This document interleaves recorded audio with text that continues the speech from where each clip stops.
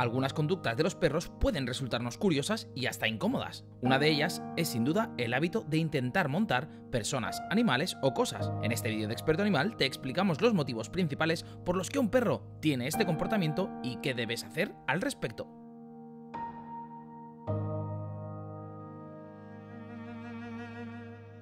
1 estrés o aburrimiento. Un perro que tiene una rutina sedentaria o vive en un ambiente negativo puede desarrollar fácilmente síntomas de estrés y aburrimiento. Si no les ofreces paseos y actividades positivas a través de las cuales consiga gastar su energía, tu can tratará de buscar vías alternativas para liberar la tensión acumulada. Descubre otras consecuencias de no sacar a pasear a tu perro en el vídeo de la tarjeta. Por esta razón, te aconsejamos aumentar la frecuencia o la duración de sus paseos y enriquecer su ambiente para brindarle vías positivas y apropiadas para entretenerse. 2 excitación y ansiedad. Esta es una de las causas más habituales cuando el intento de monta se da hacia las personas. Un perro muy excitado o que siente ansiedad ante una determinada situación puede intentar montar a las personas que tenga más cerca para gestionar esas emociones. Como en el caso anterior, esto indica que el perro está sufriendo un conflicto emocional que también le genera estrés y nuevamente busca una vía para liberar esta tensión. Cuando llegan visitas, el perro puede sentirse muy excitado y recurrir a este comportamiento para llamar la atención.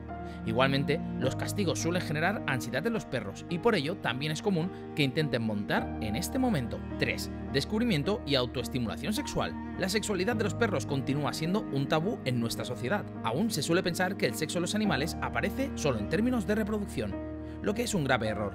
Los perros también pueden masturbarse o autoestimularse para obtener placer o alivio, así como para descubrir su propio cuerpo y expresar su deseo sexual. Se trata de la expresión pura y espontánea de la conducta sexual de su especie. Si un perro monta a otro perro o a la pierna de su tutor, puede que necesite aliviar la necesidad de su organismo para sentirse mejor. Por otro lado, puede que esté creciendo y quiera explorar su deseo sexual, lo que es esencial para su desarrollo físico y emocional. 4. Signo de alguna enfermedad. En estos casos, la conducta de la monta suele aparecer de forma repentina y puede repetirse de forma excesiva, de modo que el can querrá montar prácticamente cualquier objeto o persona que se presente en su entorno. Los problemas hormonales y las enfermedades autoinmunes son las condiciones que suelen asociarse a este tipo de conducta. Aún así, también es posible que el perro repita este movimiento de forma exagerada para aliviar dolores provocados por infecciones urinarias o patologías óseas, como la displasia de cadera. Por esta razón, es esencial acudir al veterinario para confirmar la causa de esta conducta y prevenir el avance de sus síntomas. 5. Problema de socialización. Un perro también puede querer montar a su tutor u otros perros como consecuencia de una mala socialización, que lo ha llevado a asimilar esta conducta como una forma de interactuar con otros individuos. Este problema también puede aparecer con frecuencia en animales que tienen un historial de abusos físicos y emocionales. Por esta razón, si has adoptado recientemente un perro, es importante estar atento al desarrollo de estos hábitos irregulares de monta. Asimismo, algunos canes asimilan por error el comportamiento de monta como un juego, pudiendo llevarlo a cabo con su tutor y otros animales.